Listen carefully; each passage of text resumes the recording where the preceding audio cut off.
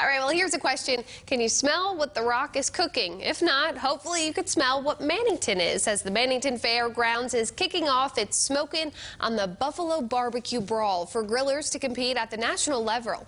Live professional wrestling from Real Shoot Wrestling will take place at 2 p.m., and you may see a lot of your favorite local wrestlers, including our very own Ronell Hunt, who will be in action. Now, to see the full itinerary for both days of the Smoking on the Buffalo Barbecue Brawl, just head to our website, WBOY.com.